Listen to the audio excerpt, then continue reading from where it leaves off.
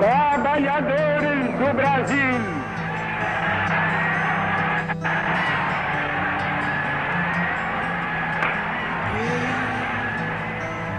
Depois de quase seis de afastamento, durante os quais nunca me saíram do pensamento a imagem e a lembrança do grato e longo convívio que mantive convosco.